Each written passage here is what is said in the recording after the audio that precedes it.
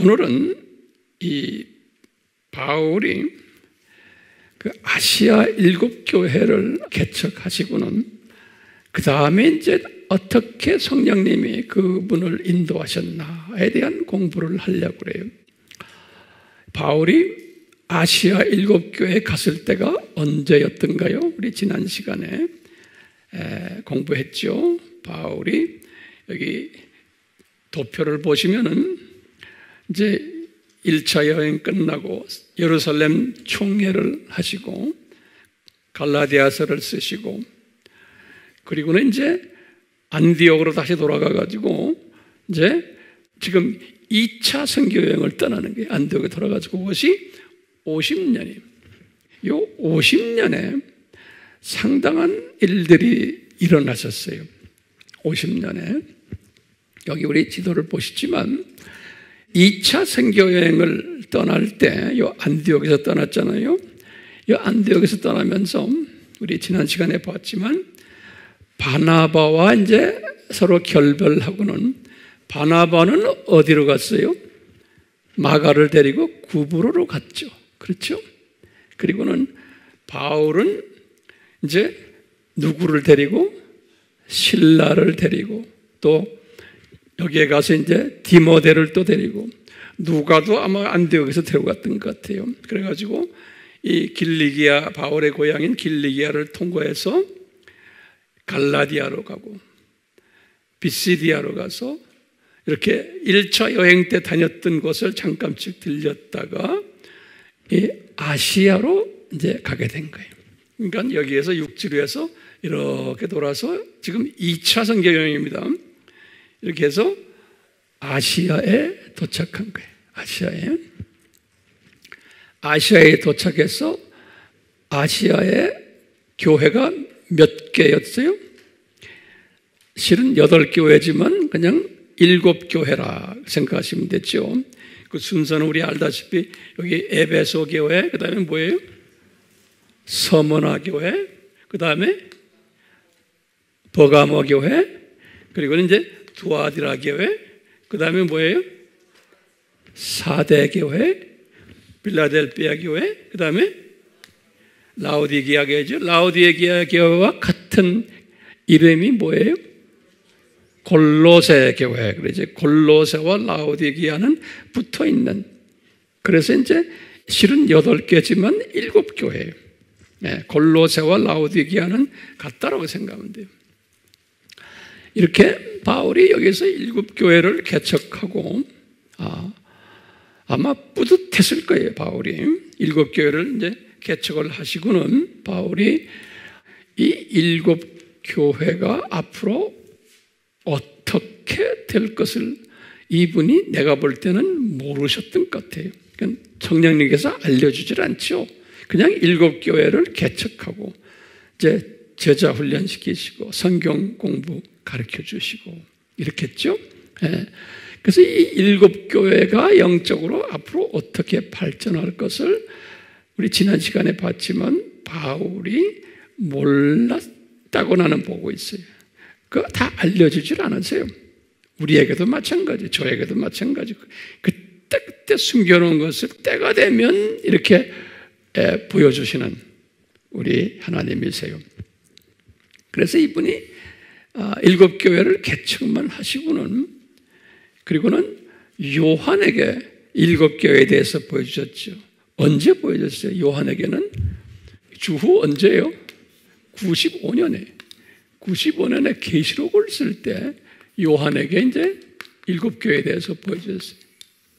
그래서 우리 아는 계시록 2장과 3장 스토리.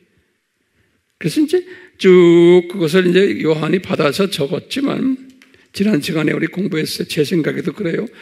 요한이 그걸 받아 쓰기만 했지 요한이 모르셨어요. 그 내용을. 예.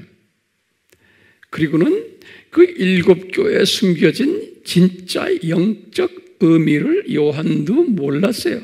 바울은 말할 것도 없고 바울은 개척만 해놓은 거예요. 우리의 삶 속에서도 마찬가지. 어떤 분은 바울 역할을 하고 어떤 분은 요한 역할을 하고 그래가지고 이게 지금 교회 시대 시작 아닙니까? 요한이 그것을 적어 놓고는 그게 무슨 뜻인지를 모르고 적어만 놨는데, 그리고는 우리 다니엘서 12장 3절, 4절에 보면 뭐예요?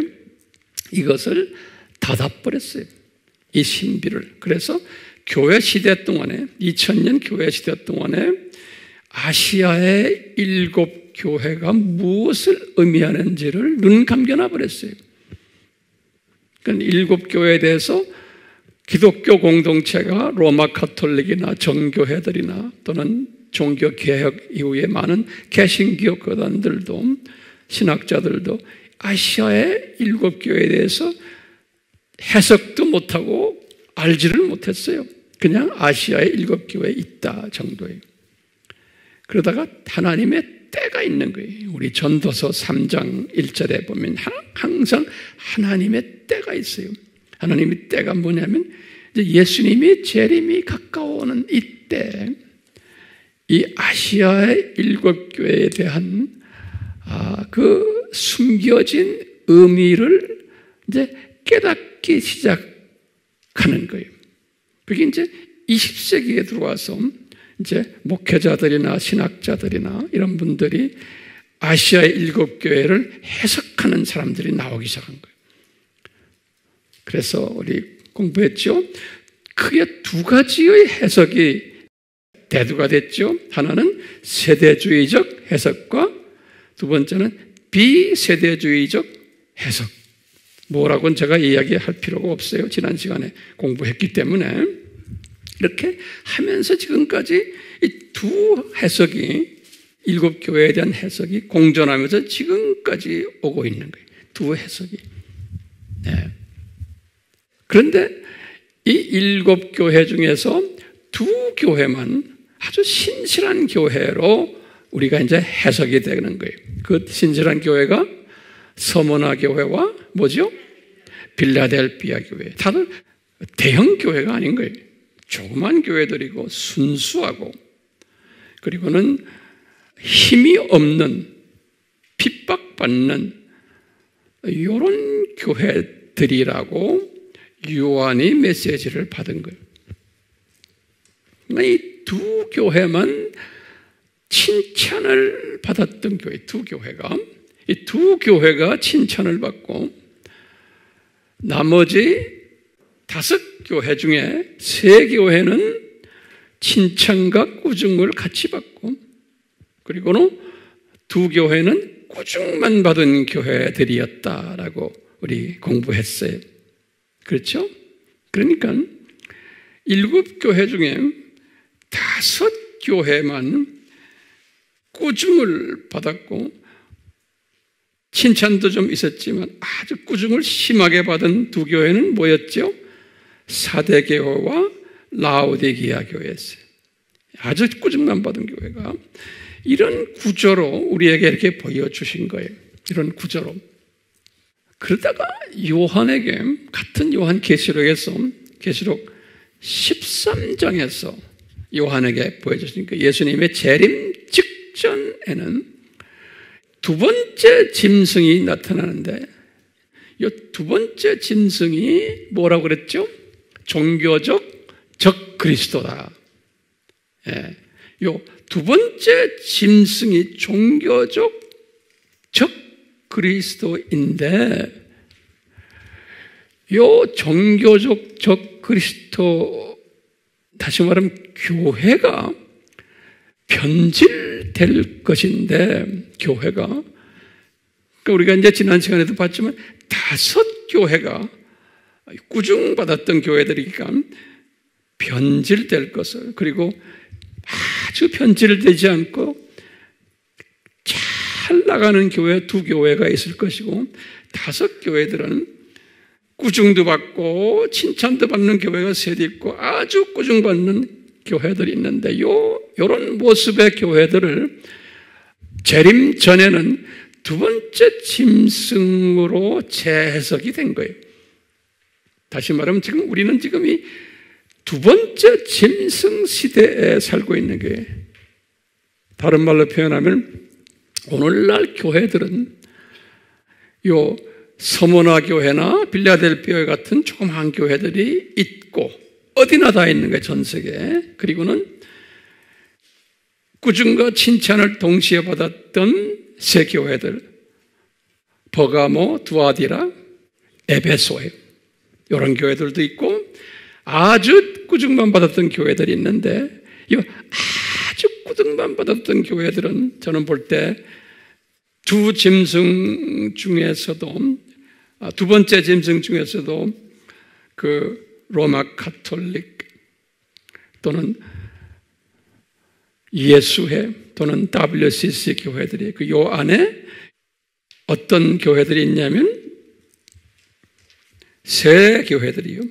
다시 말하면 에베소 교회 같은 교회도 있고 버가모 교회 같은 교회도 있고 또 뭐예요? 두아디라 교회 같은 교회도 있고 요 안에 그리고 또 아주 심하게 무슨 교회 있어요? 사대 교회도 있고 라우디게아 교회도 있다는 거예요. 그러니까 오늘날 지금 교회 안에 그러니까 여기에 안 끼는 교회가 뭐예요? 두 짐승 속에 서바나 교회와 빌라델비아 교회라는 거예요. 예. 이렇게 이제 우리가 지난 시간에 이렇게 봤어요. 그러면서 이제 우리가요, 교회를 딱 보면은, 아하, 우리가 거기서 배우는 게 있어요. 일곱 교회를 통해서 배우는 게 뭐냐면 첫째가요, 모든 교회가 거룩한 곳이 아니구나. 라는 것을 우리가 배우게 돼요.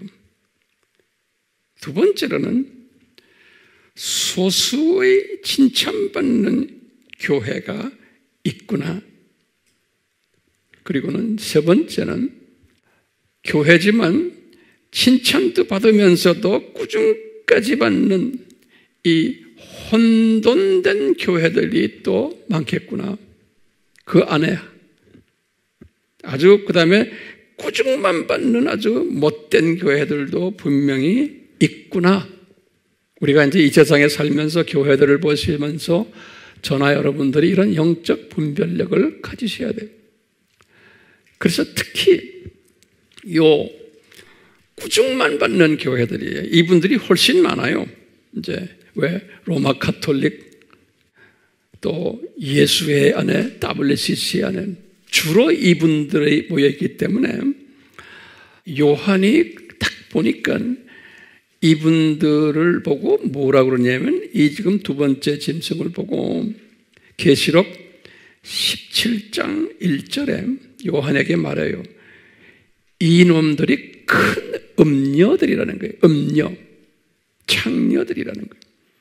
영적 창녀들이라는 거예요. 예수님 섬긴다고 하면서 잡놈을 섬기는 놈들이라는 거예요. 그리고는 요한에게 또 뭐라고 부르냐면요. 계시록 18장 2절에 이놈들을 큰 성 바벨론이다 그랬어요. 예, 두 번째 짐승을 그러면서 이 큰 성 바벨론인데 그러면서 뭐라고 말했냐면 그 큰 성 바벨론 안에 들여다 보니까 귀신으로 꽉 차 있더라 그랬어요. 그래서 교회는 교회인데 귀신의 초소다.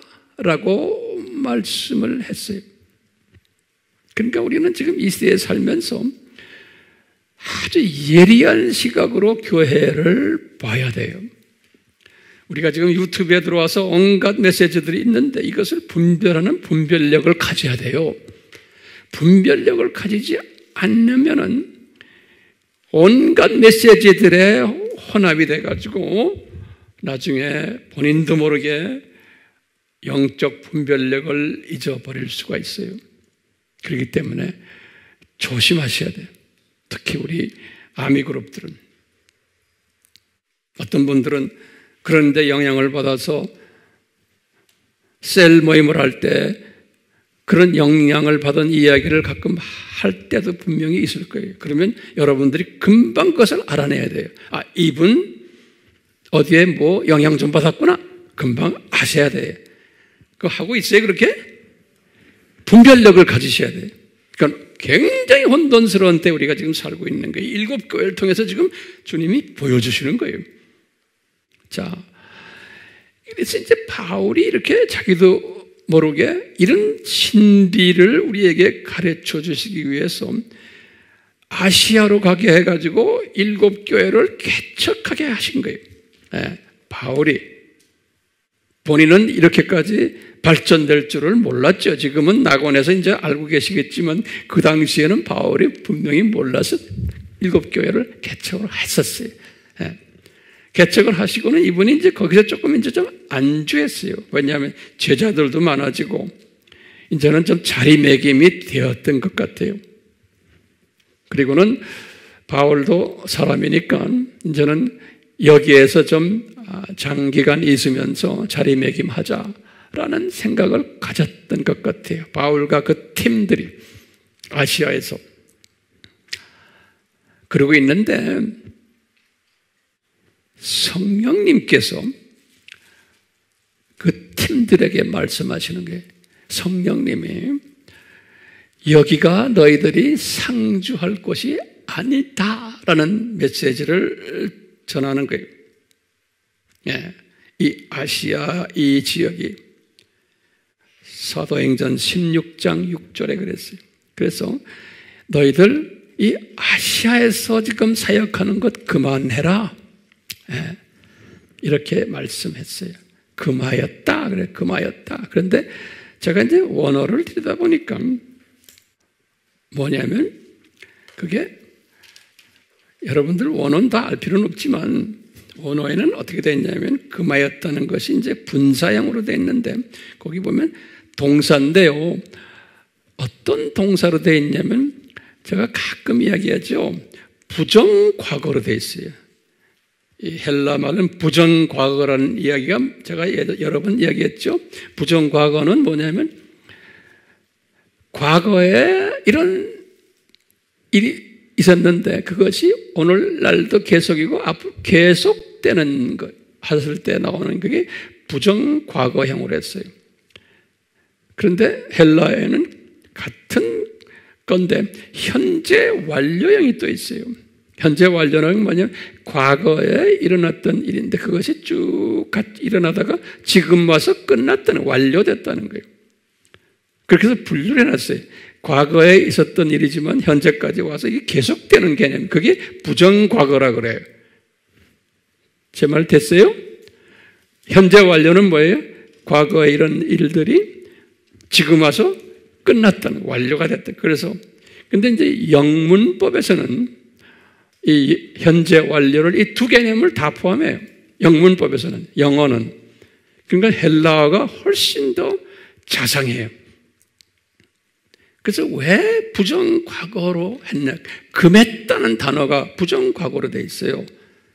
이 말은 뭐냐면 성령님이 그분들이 거기에서 교회 개척하고 이미 시작할 때 성령님이 벌써 그 생각을 하셨다는 거예요.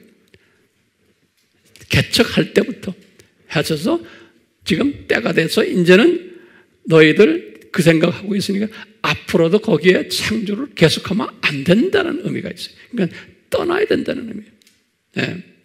떠나야 된다는 거예요. 네. 그게 이제 부정 과거예요. 부정 과거. 그러면 우리 질문이 있어요.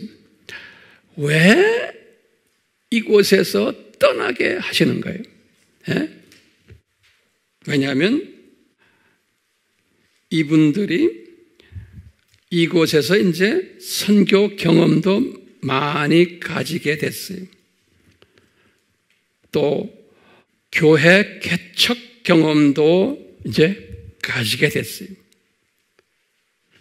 이런 분들에게 너희들 이 터키 지방에 머물지 말아라는 거예요.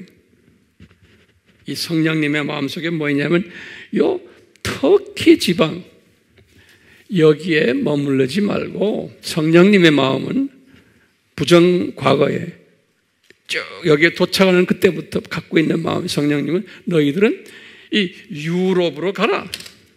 여기가 지금 지금 이스탄불이 여기 있죠. 지금 이스탄불이 절반은 유럽이고 절반은 아시아 안에 우리 가봤잖아요. 그러듯이 여기 유럽과 아시아의 경계가 여기가 이제 이스탄불인데 그 당시에도 이 바울에게 너는 이 터키 지방 아시아 쪽보다는 저쪽으로 넘어가야 된다라는 생각을 그런 소원을 하나님의 뜻을 가지고 계셨어요. 예, 왜냐하면 예수님의 뜻은 뭐냐면 이 유럽 사람들을 사용하셔가지고 세계 복음화를 하시려고 했던 거예요.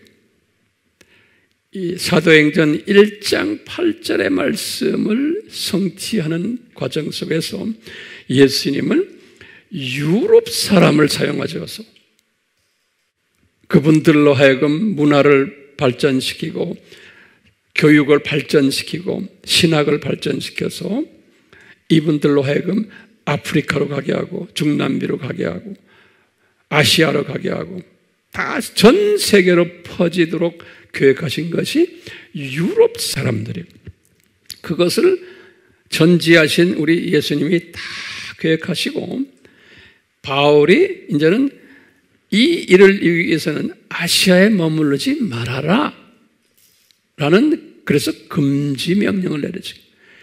그렇지만 어디로 가라라는 말씀은 안 하셨어요. 어디를 가라는 말씀은 항상 그러니까 이런 것을 우리가 우리의 삶 속에서도 대입하는 거예요. 금방 우리는 성질이 급하니까 머물지 말아라 그러면 어디 가요 하고 탁 보여주세요. 뭐 보여주세요. 기도 막 하고 그런 기도하지 해도 안 보여주세요. 때가 있어야 돼. 때가. 네. 특히 우리 민족은 성질이 급해서 금방금방 보여주길 원하잖아요. 자, 바울이요. 지금 아시아에서 떠나라. 라는 메시지를 어떻게 받았을까? 이게 궁금한 거예요. 성령님이 말씀하셨다 그랬는데, 성령님이 말씀을 어떻게 하셨을까? 목소리를 그냥 들려주셨나? 그 바울만 들은 게 아니거든요. 거기 같이 그 바울 팀들이 보면 복수로 되어 있어요. 바울 팀들이 지금 결정하는 거예요. 제 생각에는 목소리를 바울 팀들에게 다 한꺼번에 들려주셨나? 조금 좀 아, 마음에 들지 않아요. 그렇게 안 하셨던 것 같아요. 제가 볼 때는 그러면 예수님이 직접 나타나셔서 말씀하셨나? 그것도 아니에요, 보면.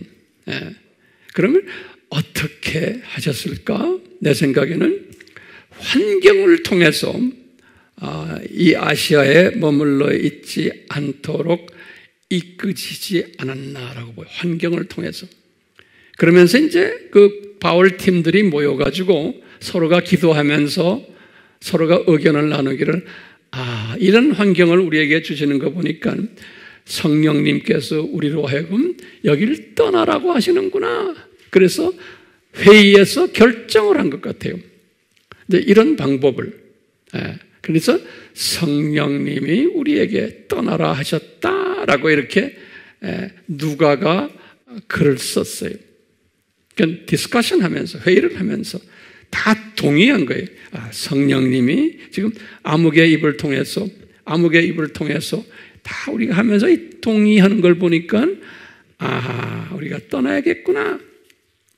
떠나야 되겠구나. 예. 자, 그래서 이제 떠나야 되겠구나 하고 이분들이 지금 그냥 떠났어요.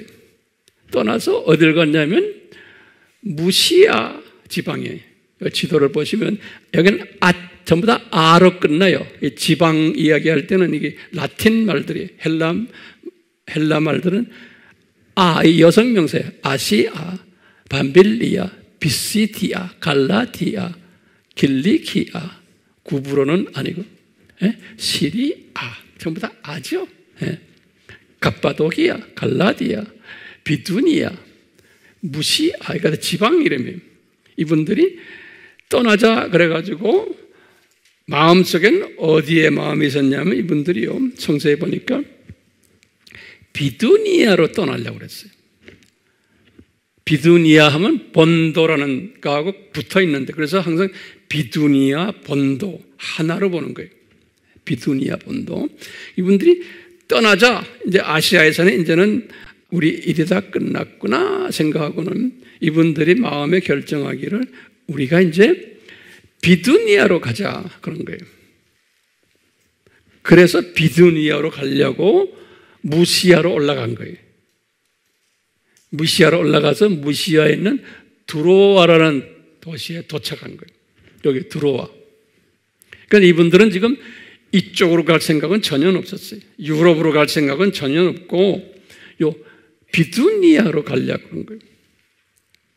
왜 비두니아로 가려고 그랬냐면 이분들 하나같이 생각이 뭐냐면 이미 1차 여행 때 이 남쪽을 어느 정도 점령했고 2차 여행 때 우리가 다 확인했잖아. 여기에 지금 남쪽 지방을 우리가 교회 개척하고 크리스천 지도자들을 훈련도 시키고 지금 아시아에 와서 이것도 남, 서남쪽 안에 다 했으니까 남터키는 우리가 이제 거의 끝냈다.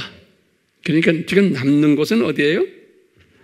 북터키예요. 흑해 바로 밑에 여기 비두니아, 본도 여기만 점령하면은 우리가 이 터키 지방은 끝날 거다라고 생각한 거예요. 그러니까 2차 선교 여행을 아, 이렇게 해서 마무리를 하려고 그랬던 거예요. 2차 선교 여행을. 1차 선교 여행은요, 남쪽만 좀, 여기 구브로를 통해 이렇게만 했고, 2차 선교 여행은 좀 더 범위 넓혀서 이렇게 했다가 이제 다시 안디옥으로 돌아가자. 요 생각을 했던 거예요. 여분들이. 그 생각을 가지고서 어딜 갔어요? 무시하러 올라간 거예요. 들어와에 들렸다가 이제 저쪽으로 가려고.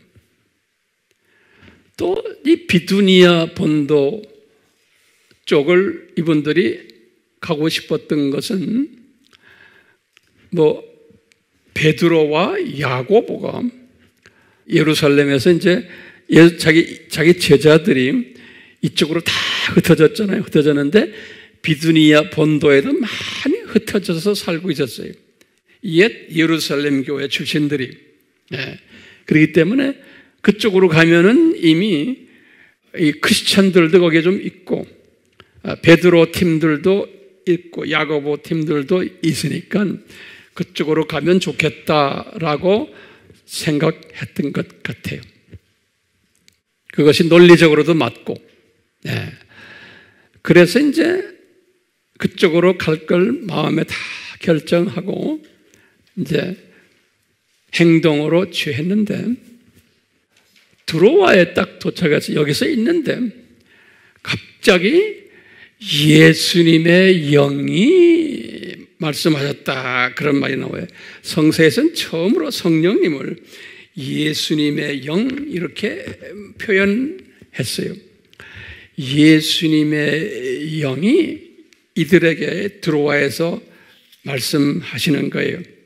네, 말씀하시기를 너희들 비두니아로 이제 가지 말아라. 비두니아로. 그러고 있는데 바울이 그날 밤 잠을 자는데 꿈에 마게도니아 사람의 비전을 보게 된 거예요.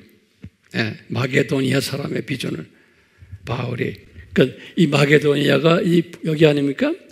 이 마게도니아 사람, 이 사람의 비전을 딱 보여주시는 거예요. 비전을 보여주시면서 그분이 뭐라 그러죠? 우리 마게디안도니아로 오십시오. 그 다음에 우리를 좀 도와주십시오. 예, 이렇게 부탁하는 장면이 예, 우리 잘 아는 이야기들죠. 예, 이렇게 이제 하는 거예요. 밤에 이 마게도니아 비전을 본 거예요. 바울이 이 마게도니아의 비전을 딱 본 후에 자기 팀들을 모았어요. 모아가지고 내가 이렇게 마게도니아 비전을 보았다. 우리가 비두니아로 가려고 지금 했는데 그거 못 가게 하시더니 이제는 마게디아, 마게도니아로 가게 하시는구나. 그러니까 예수님의 입장에서는 비두니아는 이미 그쪽은 베드로 팀들과 야고보 팀들이 다 점령을 어느 정도 했기 때문에 바울까지 갈 필요가 없는 거예요.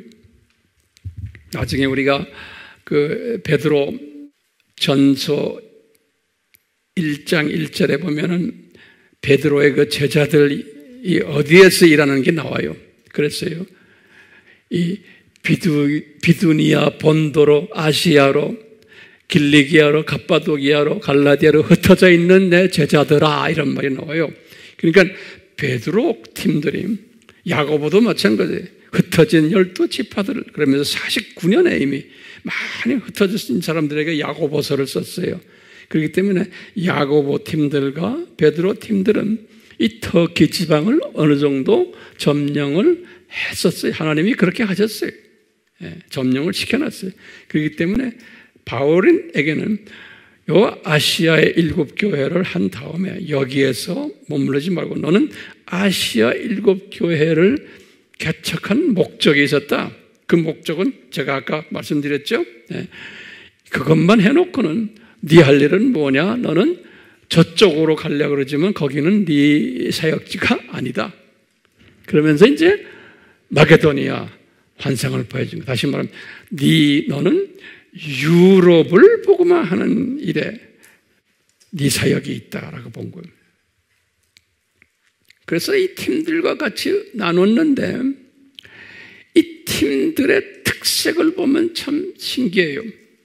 이제 이렇게 나누니까 이분들이 이분들에게 바울이 그랬죠. 우리가 천상 유럽 대륙으로 넘어가자. 거기는 언어도 다르고 우리와 모습도 다르고 문화가 다른 다른 대륙이야. 거기 가기를 싫어하는 사람들이. 예, 그렇지만 이렇게 보여주시니 가야겠다. 그럴 때 이 팀들 모두가 다 동의한 것이 참 기가 막혀요. 이 갇힌 주님의 일을 하면서 이렇게 선교지에서 의견이 분분하면 참 어렵죠. 근데 성령님께서는 이 동의한 것을 보면 그래서 이 팀들의 특색을 제가 한 열 가지로 이렇게 봤어요. 이것이 우리의 삶 속에서도 그대로 적용이 돼요. 예. 유럽 복음화를 위해서 하나님이 이 팀들이 아름답게 구성되어 있는 것을 알 수가 있어요. 예. 첫 번째는 이 특징이 뭐냐면요. 마게도니아 비전을 보았다고 바울이 말할 때 한 사람도 의심하지를 않았어요. 예, 의심하지를. 두 번째는 이분들이 바울의 영성을 높이 평가를 했어요. 그러니까 바울의 말을 잘 들었어요. 세 번째는 바울의 리더십을 높이 평가했어요. 네 번째로 바울의 인격을 높이 평가했어요. 다섯 번째로 바울의 리더십에 순종했어요. 여섯 번째로 순종도 주저하지 않고 즉시 순종했어요. 즉시. 기가 막힌 그룹이. 일곱 번째로 의견이 분분하지가 않았어요. 예, 의견이 분분하지가 않았어요. 그러니까 하나님이 쓰시는 그룹들 보면 말이 많지 않아요. 지도자의 지시에 의해서 딱딱 움직이는 그룹들이. 예. 여덟 번째죠. 목표가 분명했어요. 왜냐하면 마게도니아 사람이 와서 우리를 도우시오. 우리에게 당신의 복음을 전해주세요. 이렇게 말했거든요. 그러니까 목표가 분명한 거예요. 가는 것이 목표가 그 목표 때문에. 아홉 번째는 한 마음이었다. 이 목표를 가지고. 열 번째는 이 지금 이 유럽은 그 당시에 미전도 족속 대륙이에요. 그러니까 미전도 족속 복음화에 뜨거운 열정을 가진 분들이었어요. 복음이 안 들어간 곳에 들어간다는 것은 상당히 힘들어요. 예. 그런데 그 뜨거운 열정들을 가진 것을 우리가 볼 수 있어요. 그러니까 이게 역사적 사건이죠. 예. 이, 저도 한, 한 30년은 이 선교지를 다니면서 이런 이 바울의 스토리를 이렇게 묵상을 하면서 저도 배우는 게 많고 제가 또 경험을 또 하다 보니까 동의하는 부분도 많고 그래요. 그 나 그런 것들을 좀 다는 아니지만 일부를 여러분들과 지금 나누고 있는 거예요. 자, 비전에 대해서 잠깐 좀 볼 필요가 있어요. 자, 비전. 이 비전이라는 단어가요. 헬라 말로 호라마, 호라마 이렇게 헬라 말로 그러거든요. 호라마. 요 비전 사도행전에 특히 요 비전 이야기가 나오는데 사도행전을 보시면은 비전으로서 메시지를 받은 그 예가요, 사례가 제가 볼 때 한 여섯 번 있어요. 여섯 번. 제가 왜 이런 이야기 하냐면, 오늘날도 우리가 많은 사람들이 제가 비전 봤어요.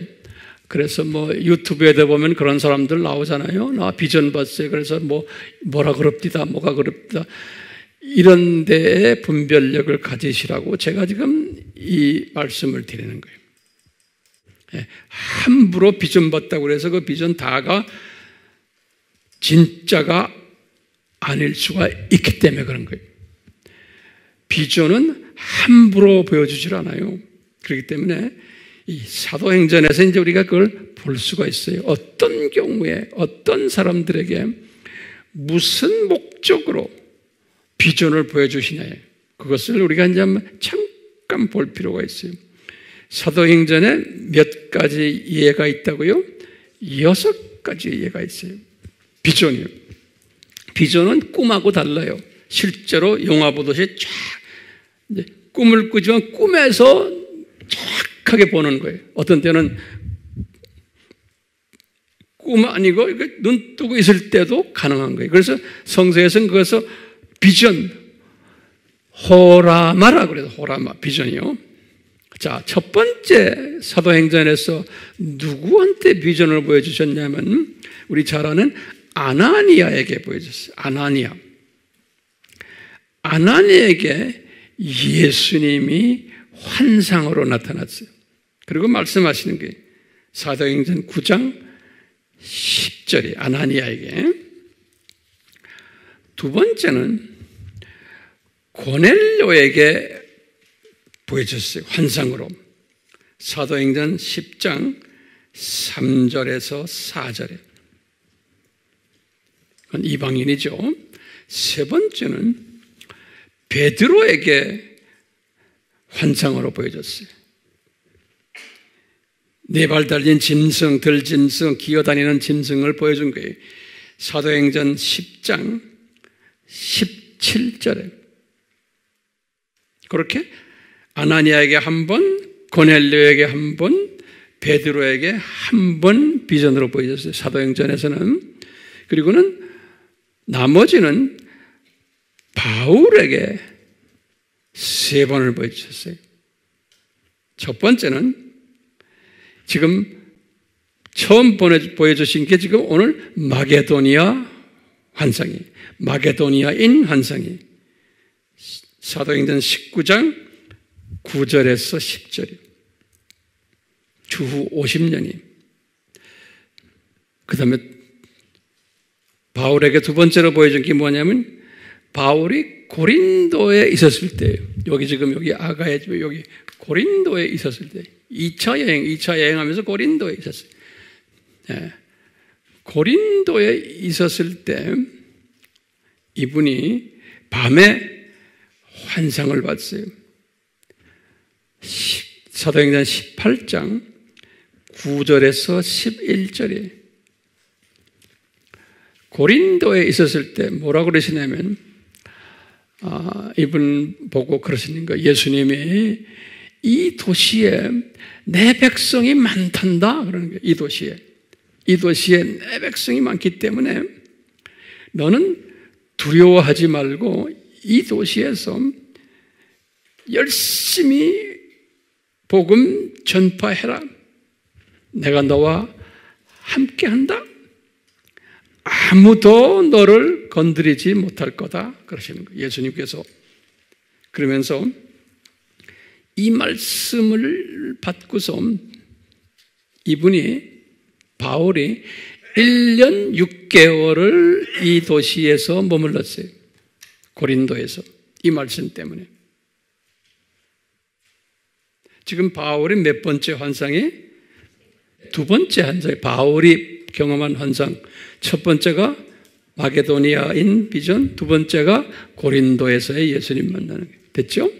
세 번째 바울이 경험한 것은 바울이 이제 3차 선교여행 끝나고 예루살렘에 들렀다가 예루살렘에서 가이사오를 해서 이제는 이분이 어디로 갈 거예요?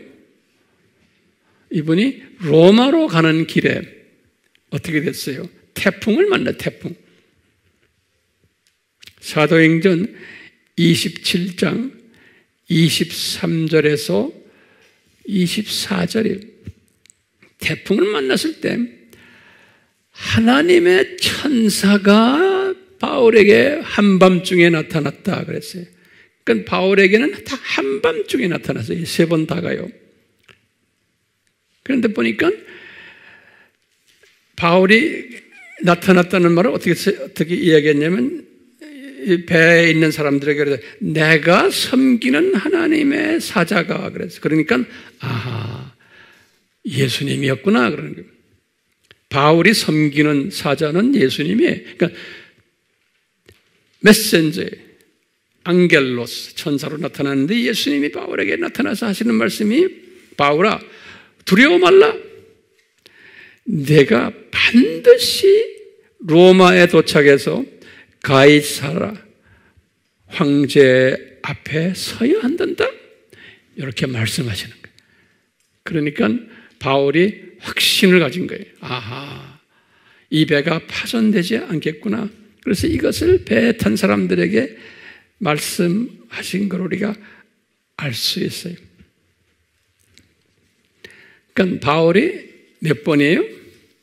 세 번 환상을 본 거예요. 자, 그러면 우리 질문이 있어요. 어떤 사람들에게 지금 사도행전을 우리가 지금 보면서요. 어떤 사람들에게 환상을 보여주시는가. 우리가 보면요, 우리 아나니아를 딱 봐요. 아나니아를 딱 보면은 아나니아에게 환상을 보여준 것이 그 목적이 어디에 있어요? 아나니아가 높임을 받기 위해서예요? 아니에요. 예? 이 목적이 뭐예요? 아나니아에게 환상을 보여준 것은 바울이 로마 제국 보고마에 기름 부음을 받은 일꾼이라는 것을 확인시켜 주기 위해서인 거예요. 제 말 잘 따라하세요? 그러니까 로마 제국 보구마에 요긴한 사자라는 것을 보여주기 위해서 환상을 보여준 거예요. 그러니까 모든 게 다 로마 제국 보구마예요. 세계 보구마에 참여하는 사람들을 향한 격려 차원에서 확인 차원에서 아나니아에게 보여주신 거예요. 두 번째 고넬료에게 보여주신 것도 보면 고넬료에게 환상을 보여주실 때 고넬료가 환상을 본 내용이 뭐예요? 저 밑에 있는 요바에 있는 베드로를 너한테 모셔와라 라는 환상이에요. 그러니까요. 고넬료가 잘나서가 아니고 베드로를 하나님의 쓰시기 위해서인데 베드로를 어떻게 쓰시느냐? 나중에 이제 그 다음 세 번째 환상이 베드로인데요. 베드로가 유대인 복음화만이 아니고 이방인 복음화도 베드로가 해야 된다는 것을 보여주시기 위해서 고넬료를 사용해서 고넬료에게 베드로를 자기 앞에 보내기 위해서 환상을 고넬료에게 보여주신 거예요. 그당 그와 동시에 같은 때 세 번째로 베드로에게 또 환상이 나타난 거예요. 베드로에게 환상을 보여주셨어요. 예수님께서 베드로에게 뭘 보여줬어요? 베드로야, 지금 내가 너한테 보이는 이 동물들, 그 이방인 음식들의 모두 그리고 나 이거 먹지 못합니다. 그러니까 너 이거 먹어야 된다. 이 말씀은 뭐예요? 너가 유대인만 복음화 하는 사람이 아니다. 너는 디아스포라를 복음화 시키고 디아스포라를 통해서 이방인들도 복음화가 돼야 된다는 것을 그러니까 복음이 이방인들에게도 절대적으로 필요하다는 것을 베드로에게 가르쳐 주시려고 그러는 게 다시 말하면 로마 제국 복음화에 다 이, 이런 것들이 이 인포메이션이 필요하기 때문에 환상을 주는 거예요. 그냥 어떤 개인에게 먼저 점쳐주는 것, 뭐, 저 사람 사업 잘 될까? 저 사람 뭐, 뭐, 성공할까 말까? 이런 환상이 이런 거 아니에요. 점쟁이들은 그런 걸 가지고 점을 치잖아요. 근데 우리 기독교인들이 말하는 환상은 하나님이 쓸데없이 보여주질 않아요. 다들 로마 제국 복음화 또는 오늘날은 세계 복음화를 위해서 사용받는 사람들을 위해서 그분들을 격려시키고 그분들의 방향 제시해주고 그분들이 더 열심히 하라고 보여주기 위한 하나의 도구들이 이 환상이 바울에게 봅시다. 바울이 받은 세 가지 환상을 보여. 바울이 마게도니아 환상을 오늘 본 거예요. 마게도니아 사람을 본 환상은 무슨 목적이에요? 바울이 잘나서가 아니잖아요. 뭐예요? 로마 제국 복음화를 위해, 유럽 복음화를 위해서, 유럽 복음화를 위해서 그랬기 때문에 넌 꼭 가야 된다는 것을 너 비두니아나 본도 쪽으로 가지 말고 그것은 딴 분들이 하게 하고 너는 저쪽으로 넘어가야 된다는 거예요. 다른 대륙으로. 그러기 위해서는 바울 같은 사람들에게는 정확하게 환상을 보여줘도 정확하게 마게도니아 사람의 옷을 입은 마게도니아 사람이 오시오 도와주시오 라는 환상을 정확하게 보여줘야 되거든요. 적당히 보여줘서는 바울도 혼돈스러워하니까.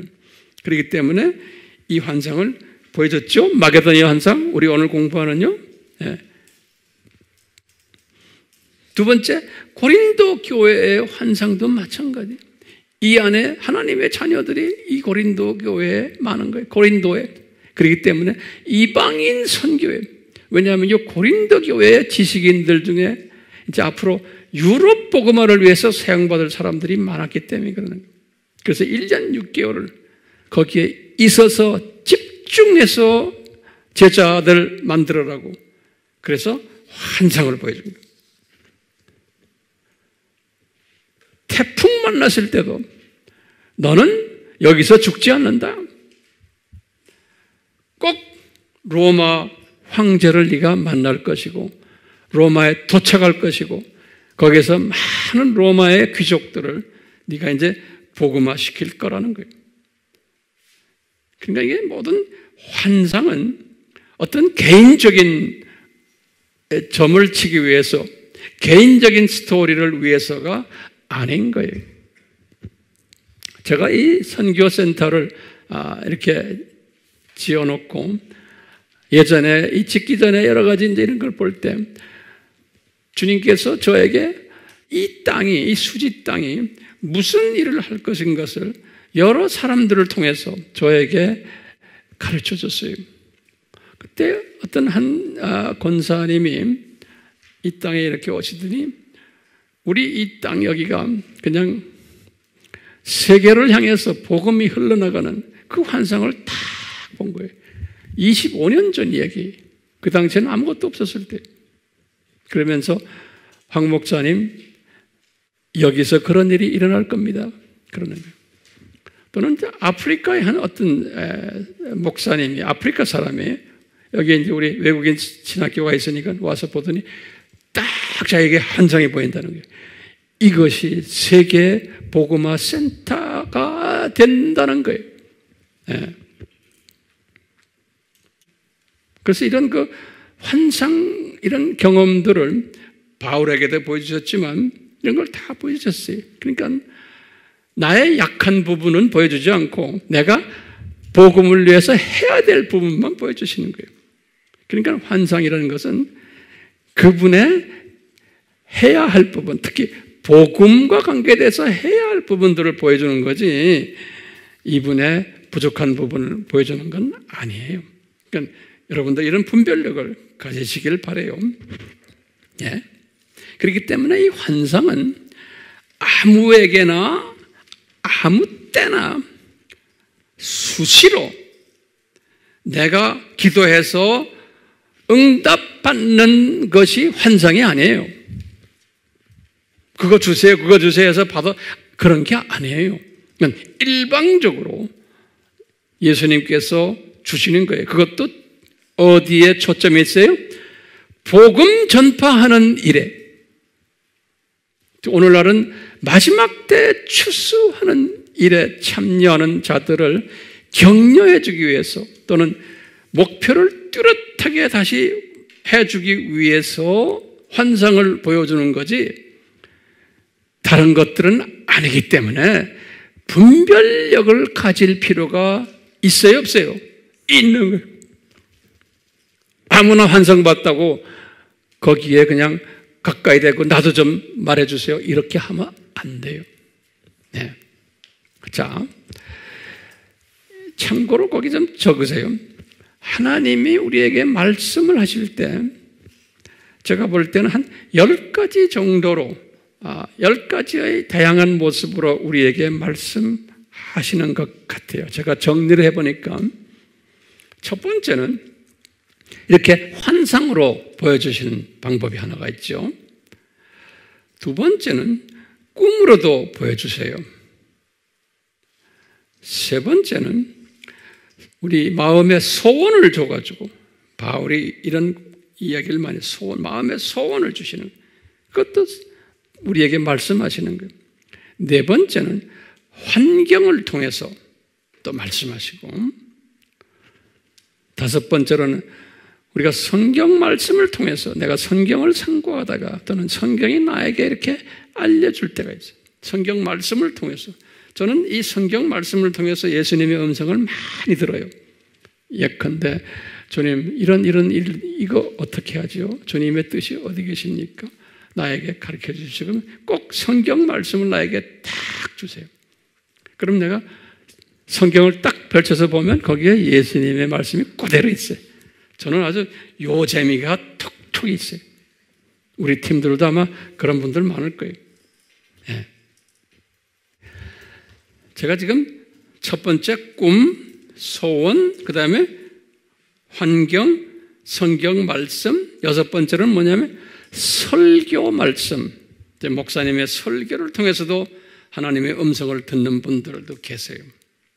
그리고는 일곱 번째는 주변의 사람들을 통해서 항상 우리가 영적으로 끼어 있는 사람은 예수 믿는 사람이나 예수 안 믿는 사람이나 주변 사람들이 말하는 거나 그런 것을 항상 이렇게 귀담아 들어요. 저분을 통해서도 나에게 말씀하시거든요. 항상 이렇게 저는 귀담아 들어요.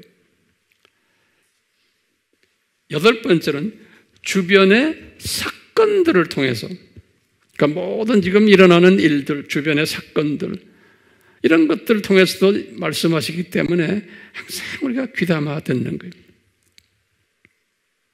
아홉 번째는 이 사회 환경을 통해서 정치, 경제, 문화, 기타 등등 모든 이런 모든 이런 일들을 통해서 우리가 예수님의 음성을 듣는 거예요.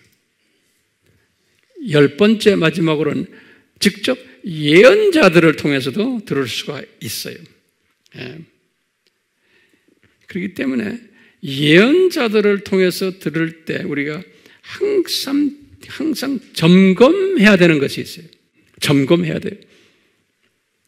첫 번째는 그 예언자, 그분의 영성을, 그분의 영적 통찰력과 또 이분의 인격을 항상 점검해야 돼요. 그 다음에 두 번째요. 설교를 통해서도 들었잖아요. 그럴 때 항상 설교자를 점검해야 돼요.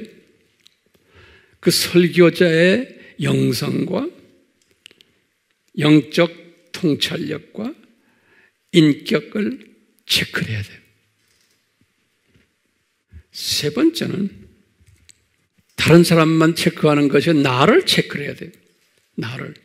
내가 지금 이 하나님의 음성을 지금 이런 사람들을 통해서 듣는다라고 볼 때 내가 지금 과연 이 하나님의 말씀을 들을 그릇이 됐는가? 그러니까 나의 영성, 나의 인격, 나의 영적 통찰력을 점검해야 돼요. 나는 준비 안 됐는데 아무리 메시지가 와야 안 돼요. 그러니까 내가 그 받을 그릇이 돼야 돼요. 그래야지만 그게 정확히 되는 거예요. 마지막으로 네 번째는 이렇게 받은 후에 항상 바울이 그랬어요. 고린도전서 14장 3절에 이 하나님의 이 말씀을 받은 자는 항상 평강이 있어요. 그리고 내가 격려를 받고 그 다음에 내가 덕을 받아요. 다시 말하면 내 영성이 살아나는 거예요. 내가 살아나는 거예요. 또 내가 영적으로 더 성장되는 거예요. 예. 이 메시지가 나를, 나에게. 그렇기 때문에 이 부분 잊지 마셔야 돼. 그러니까 하나님의 메시지를 전할 때 오늘은 우리가 환상을 아, 그 주요 멤버들에게 허락하셨는데 환상을 허락하셨는데 우리 사도행전에 지금 보니까 다 목적이 로마 제국 복음화를 위해서 이분들에게 이렇게 환상으로 보여주신 거예요. 그렇기 때문에 이분들이 항상 이 환상을 보고 거기에 순종했던 모습을 우리는 알 수가 있어요. 근데 이제 마지막 제가 한마디만요. 왜 아시아에서 이분들이 저쪽 비두기아를 가려고 했을 때, 다시 말하면 바울이 터키 복음화를 위해서 하려고 했을 때, 아, 이제 그만해라 했을까요? 예. 터키 복음화를 위해서 할 때, 그만해라 그랬어요. 그러니까 하나님께서 볼 때는 터키 보고만은 그 정도면 된다라고 보신 것 같아요. 예. 요 터키의 교회들을 통해서 유럽 복음화의 기틀을 만들었어요. 그러니까 유럽 복음화가 터키를 통해서 그래서 터키가 유럽 복음화의 요람이라고 저는 보고 있어요. 예. 그래서 이미 터키는 복음화가 어느 정도 됐기 때문에 요 터키를 사용해서 이제는 저쪽 유럽으로 뛰어야 된다는 거예요. 왜냐하면 유럽이야말로 세계 복음화를 하는 유럽인 거예요. 유럽이.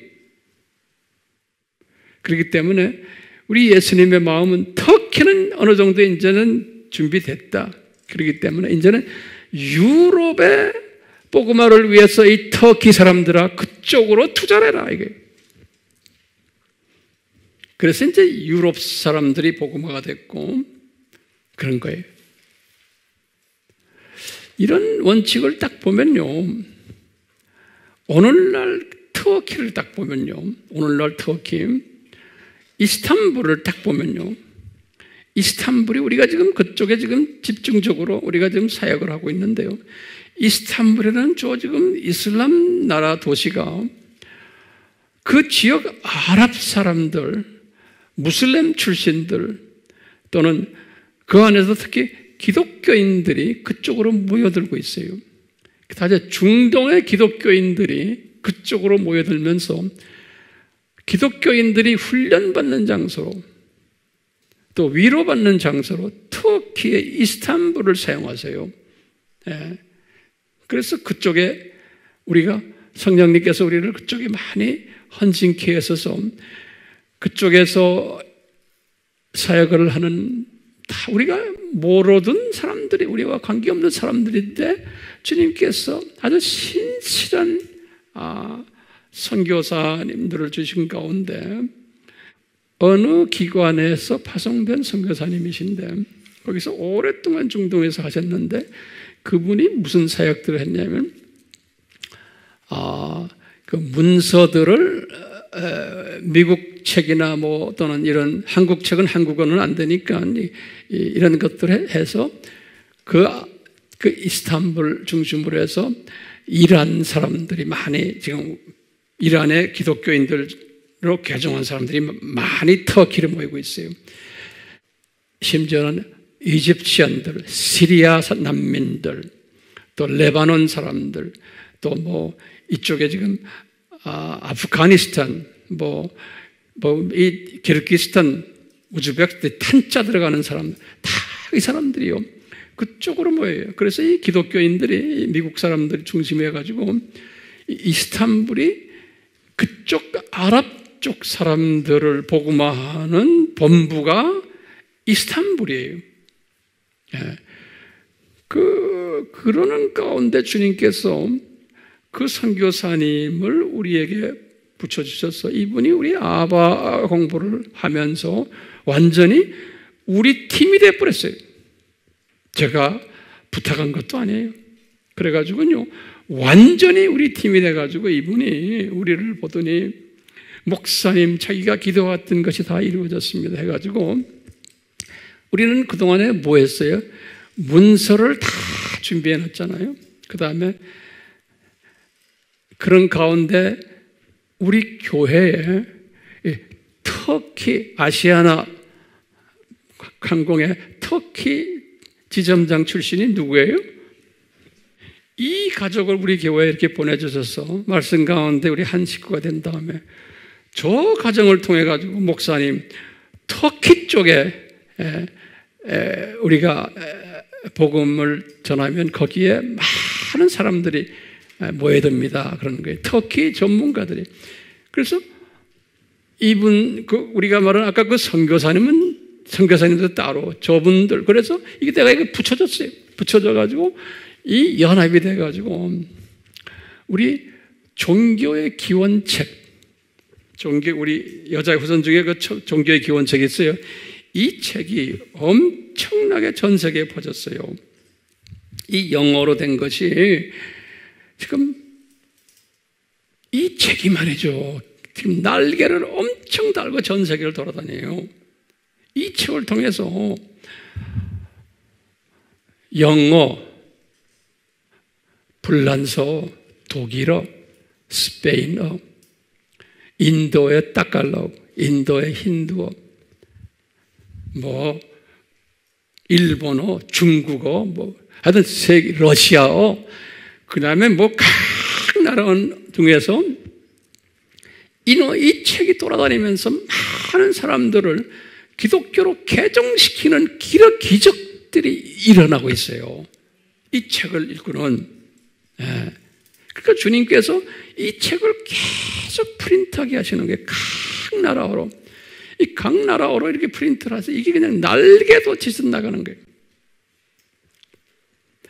우리 여기 아미센터에 이란 형제들 훈련을 받고는 지금 목사님 된 분들이 여러 명 있거든요. 그 중에 이제 한 형제가 아, 제가 내 사무실에 이제 불러가지고 그랬어요.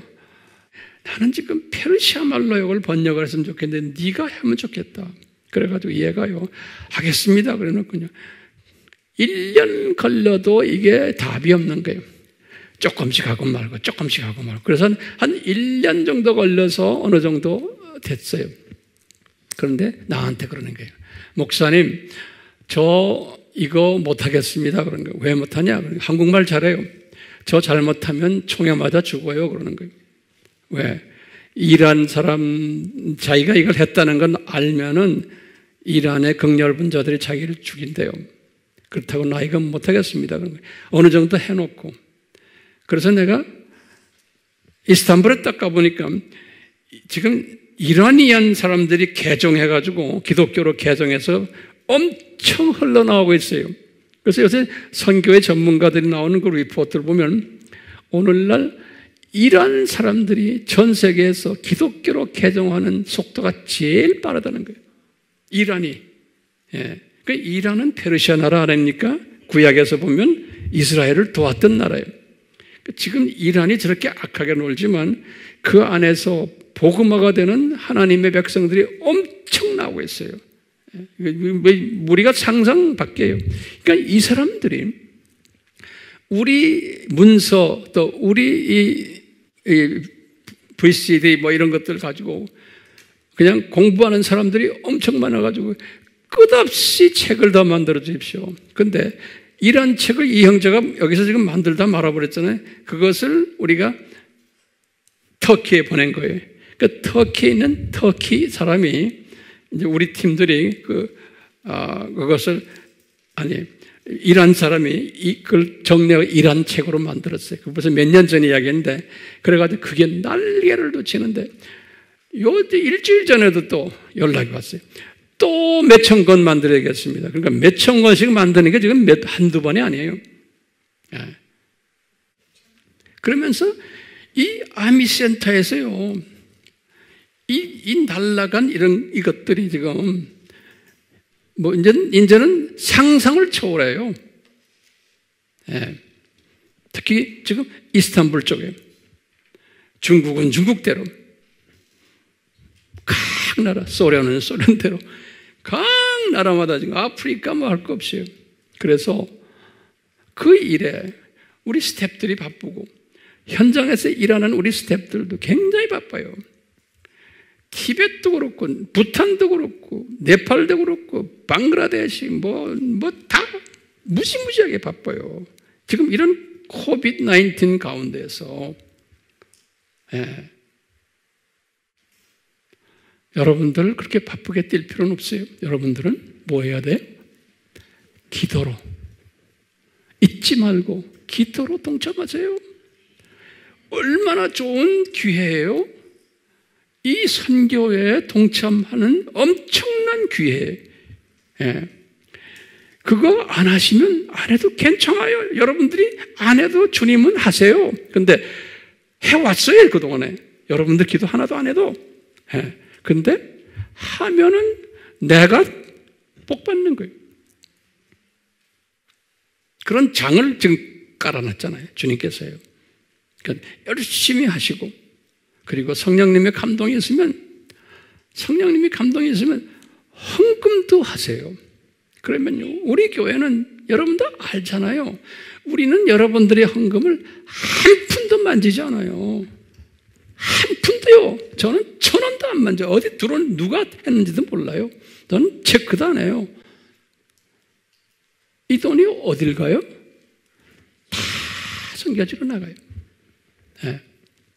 그러니까 책 만들고 뭐 만들고 뭐 만들고 하는데 지금 다 나가고 있어요. 제가 한마디만 더 할게요. 이 필리핀, 필리핀이라는 나라예요. 필리핀. 필리핀은 로마 카톨릭이 가지고 번성한 나라 아닙니까? 근데 그 안에 또 개신교도 번성, 우리보다 더 번성해요. 근데 이 필리핀 사람들은 영어를 자유자재로 하는 사람들이 그렇기 때문에요. 이 필리핀 사람들은 세계 어디를 던져놔도 통역이 필요 없는 사람들이에요. 그러다가 이 필리핀 사람들은 성품이 심각하지 않아요. 항상 하하 웃고요. 모든 사람과 관계를 편하게 해주는 성품이 있어요.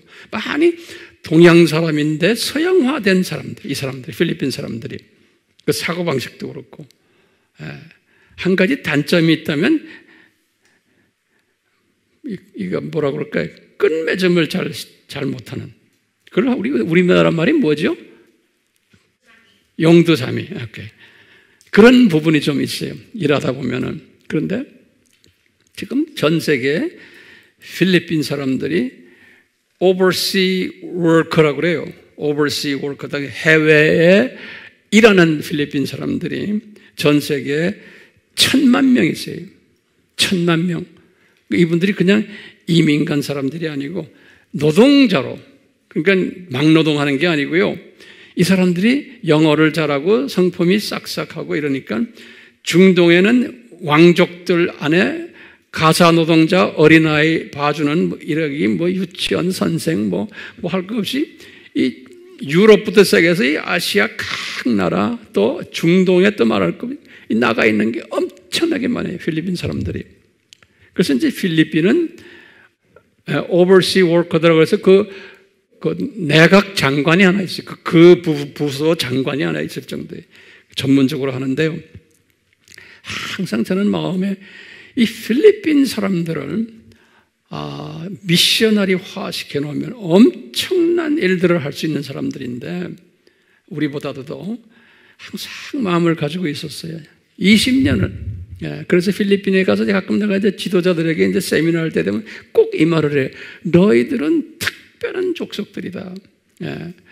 그러면 할렐루야, 아멘하고 하고 해요. 많이 하고 있어요. 필리핀 사람들 선교사들도 많이 해보냈는데 우리가 지금 이제 필리핀에 좀 투자를 하려고 그래요. 필리핀에. 이제 내가 때가 되면 제가 여러분들에게 이제 말씀드리겠지만, 아, 그래서 주님께서 이 필리핀 우리 디렉터가 아, 약한 한 달 전에 주님 나라에 갔어요. 필리핀의 우리 디렉터가 연세가 나보다도 좀 많아요.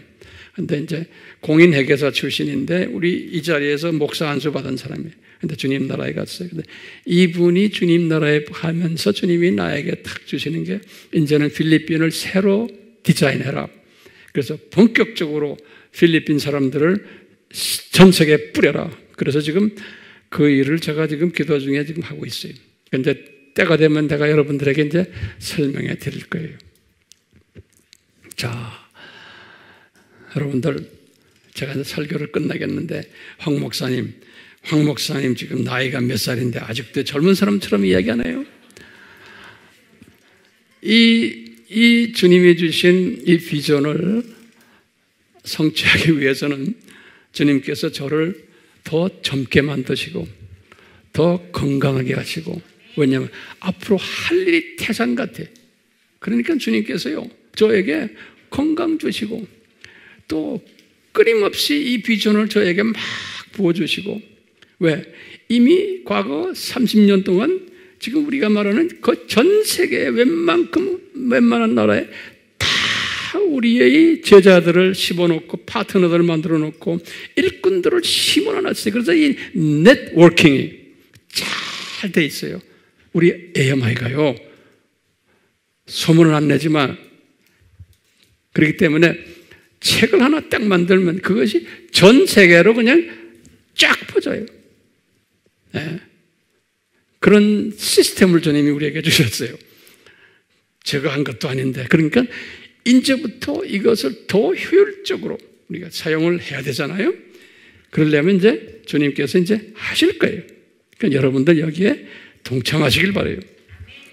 오늘 바울이 마게도니아 사람을 환상으로 보여줘서 그는 똑같아요. 우리에게도 지금 이 환상을 마게도니아 환상을 보여주셔서 바울이 이제 우리가 다음 시간에 좀 더 구체적으로 보겠지만 이제 유럽 복음화를 뚫고 나간 것처럼 우리도 이제 이런 일을 앞으로 더 할 거예요.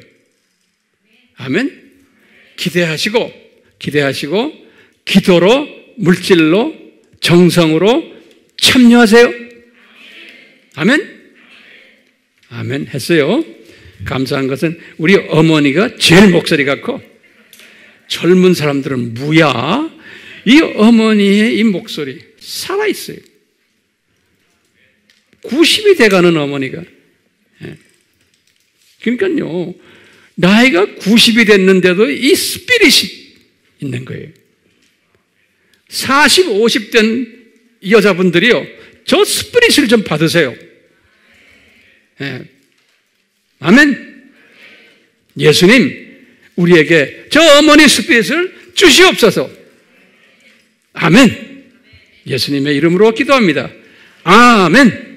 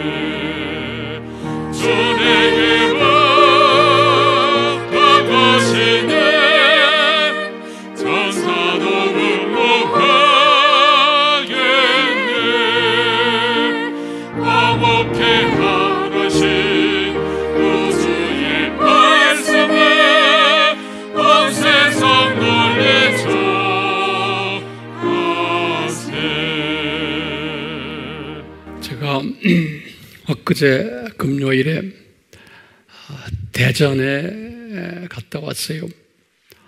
아, 대전의 모 호텔에서 아, 대한예수교 장로교 합동 아, 이 사당동 합동이 아니고 또 합동 교단이라고 있어요.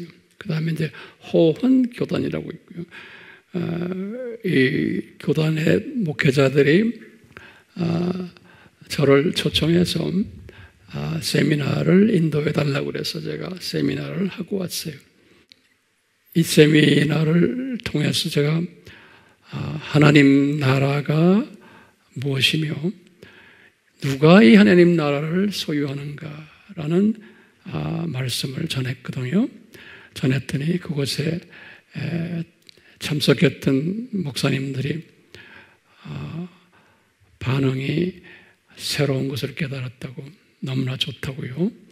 그랬어요. 그래서 이분들이 이것을 아, 자기네 교단 웹에 올려놨는데 이, 이 영상을 보면은 아, 기독교가 뭐 어떤 종교고 이 세대가 어떤 때인 것을 아, 이렇게 정돈이 되는 그러한 메시지가 거기에 숨겨 있어요. 그래서 한번 자세히 보시고 많은 사람들에게 이것을 디지털로 넘겨주시길 바래요. 예, 주님의 영광을 위해서예요.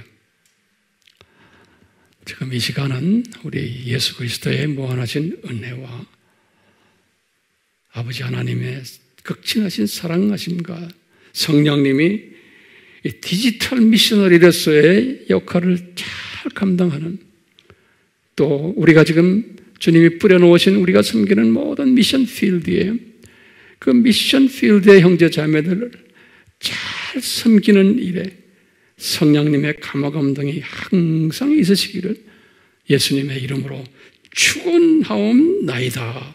아멘.